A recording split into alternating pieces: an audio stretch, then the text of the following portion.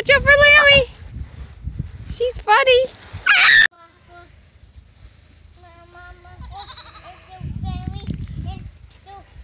Yeah, it's very furry and soft.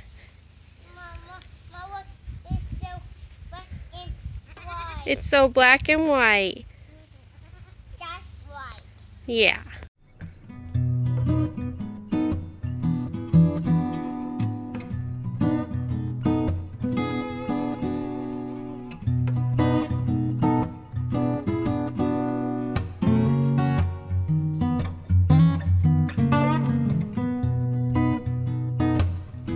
We are currently doing a fencing project. We're trying to finish chain linking the rest of our uh, property. We did about 40 acres and we have to do another 40 acres and because there was old fencing before and now we are trying to finish it so then we can let the goats up into those fields and then also we're trying to fence in our property by the house a little more so the goats aren't in our area and and so we have more of our own living space so we don't have to deal with goats and poop and all that stuff that comes with livestock. So we are getting there.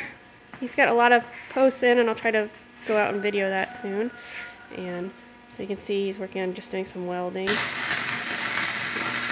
Hey Nate, what are you doing? So we're modifying, this is uh, version 2 of the T-post driver that we mounted on the tractor here. Uh, hold it by this chain with the with the clamshell bucket.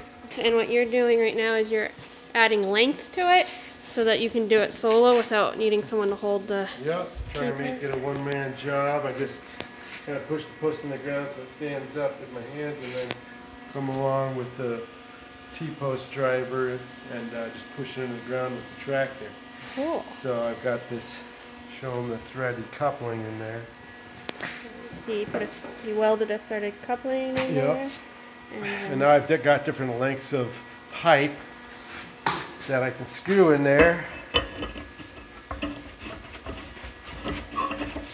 to go all the way because I won't pull it back out, but you get the idea. So now I can slip that over the whole T-post. Obviously it's upside down.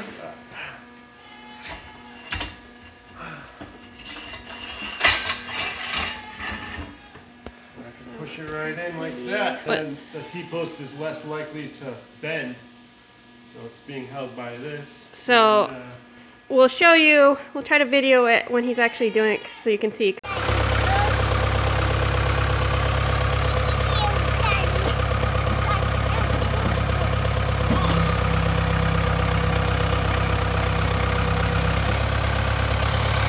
So you see here, he lines it up.